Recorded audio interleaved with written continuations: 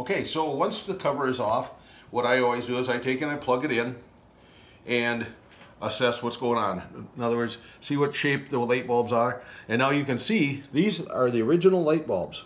Because uh, from the factory, they put a piece of tape over them to hold them in place. And so we know that these are the original light bulbs. And the original light bulbs are a daylight bulb. That, And you by the D. Yeah, see the daylight on there. The, Yep. yep. F14 T12 and T the 14 the the T12 is the diameter. This is a T12 and this is a T8. That's a smaller diameter, but again, you know, like I say, you can see these original bulbs, so that's that's kind of cool.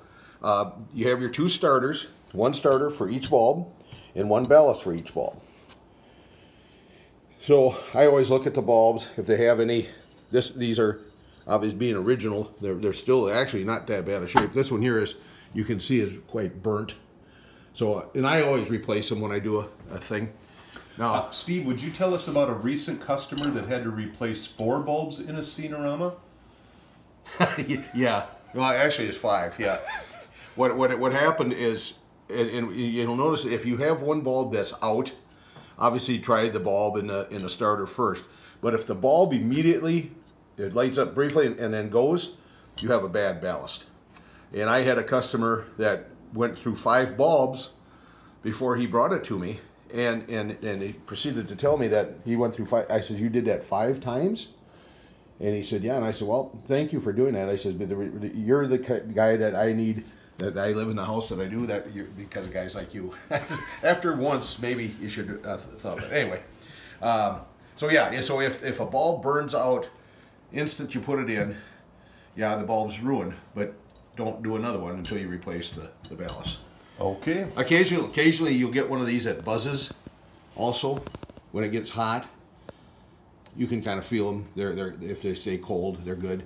Um, but either either these work or they don't. And where do you get those? Are those a Hamm's exclusive transformer? No, Can you no, they're they're getting a little harder to find because fluorescent bulbs are kind of on their way out. Another, I, I should mention, we mentioned these were daylight bulbs.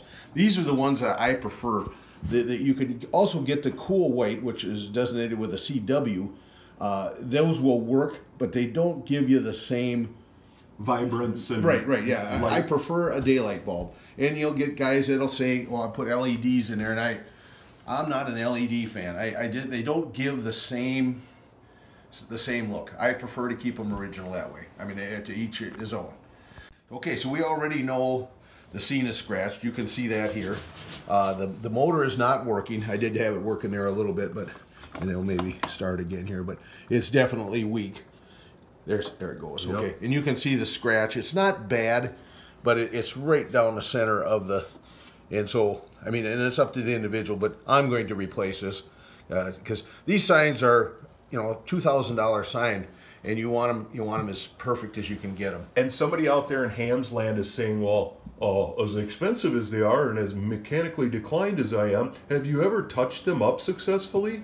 I have never seen anybody able to do that, uh, and I've seen people try, but uh, it usually, well, always looks worse than than it did with scratch. So um, I, I I don't know how you could possibly touch that up. It, it just it just you, you just can't do it. And it's the difference between the transparency, which allows the water to shine through, and the line background, and the opacity, which does not allow the lines to show through in the trees and such. And that is a tricky combination. It is, yes. Uh, there you can kind of see the scratch a little bit more. And like I say, as opposed to some of them, this one isn't isn't bad. But like I say, the the sign it deserves to be fixed correctly. So what we're gonna do now? Uh, so already we know we need a scene, and we're gonna uh, we're gonna put a motor in here because that would well you know will fail probably rather quickly, and obviously we do the bulbs. So what we're gonna do is we're gonna disassemble this. We realize that this is uh, repeat information here, but Steve got the whole back glass of the Scenorama cleaned off, and we just thought you for a refresher course here. The blue marble background is notoriously fragile, and you can see it's nicotine stained and old. So, Steve, again, would you show how you Okay. carefully remove? one? Yes. Okay, what, what, what, what they did originally with this is they took these three pieces, the black grid, the logo plates in behind here, and the blue marble, and they laid them all in the sign, and then they had a machine that come and, and came down and it melted these little tabs it, to hold everything in place. Now these, of course, hold the black grid in place. These hold the, the uh, entire assembly. So what you do, what I do, I should have waited here, but you can kind of see as, as they're, they're melted. What I do is I just take a pliers and squeeze each one of those. And I say it, the stuff is already gone now, so you can't really see it, but you see maybe see some of the remnants here. But if you just squeeze them, what happens then is that melted portion will come off, leaving just these little tabs left. And then you can just lift that entire assembly carefully out. Now, of course, if you're going to save this blue, which this one actually is in pretty good shape, which I'm going I'm not going to replace that because it's in nice original shape. You have to be really careful because like I say this, like Barry said, this is very fragile from the heat of the light bulb. And I'm sure it's a little yellowed, but if you hold it up, it, it looks really good yet. So I'm going to reuse that. Not that you can't replace it, but that's that's how you get them out without damaging them. All right, Steve. All right. Us. I think we've touched on this once before, but as I was saying earlier, now when you take this glass out, these these metal bars kind of hold the glass in place, and these are notoriously what a lot of times will scratch the scene. So I take and I eliminate these guys. Don't I've seen you even throw these out. They're worthless. Yeah, they're, they're, they're really, they don't have anywhere. And you can see the original plexiglass. See how bad that is? You don't really see it that bad until you until you look at a fresh piece. and that is probably one of the easiest, simplest ways of uh, refurbishing a Scenorama is once you Upgraded get that it. Oh, gosh, new yeah. plexiglass in there. Amazing. So, okay, so what I do is when I replace this, this is a, obviously a pattern that I've made, but as you can see, the regular plexiglass is quite a bit bigger. And you see those holes that I've drilled?